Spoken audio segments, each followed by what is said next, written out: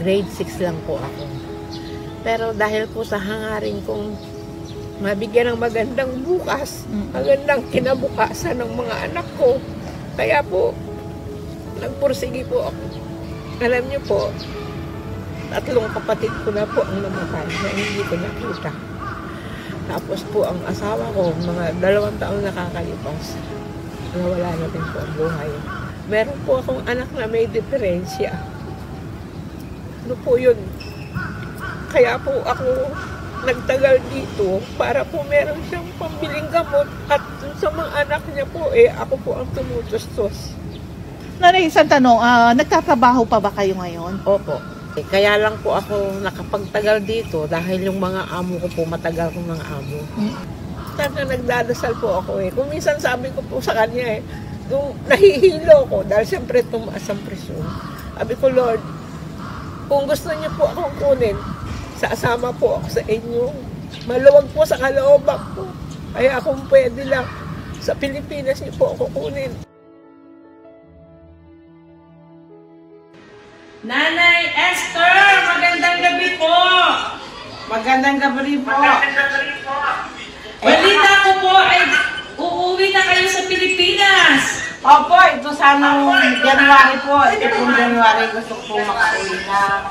Ah, kasi po, Ba bakit po gusto niyo na makauwi? Hindi na ba kaya ng katawan?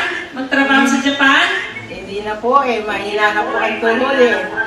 Meron po kaming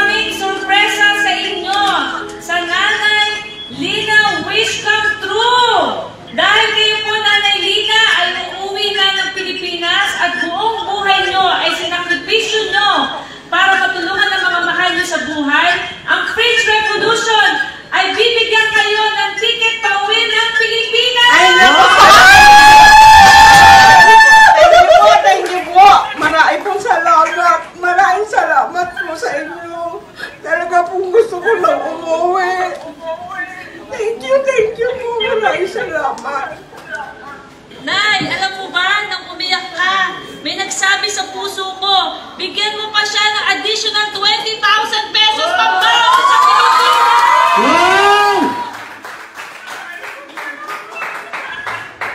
Nay, anong mai-advise mo sa mga kababayan natin? Nakagaya na nung una, nagsimulang magpunta ng Japan, malakas pa. Ngayon, uuwi na ng walang lakas.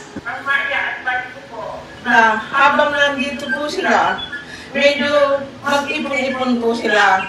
At katulad po ng nangyari sa akin, lagi po ako nagpapadala ng pera. Kaya maipapayo ko sa kanila, huwag po niyo akong tularan na lagi nagpapadala. Mag-ipon po kayo para sa inyong sarili. Para pag uwi niyo, meron po kayong konting makukot-kot. Yun po. At isa pa po, lagi po ninyong sasabihin na mabuhay po tayong na, ma- I love you, Papa. I love you, Mama. Mahalin po namin ang ating mga anak.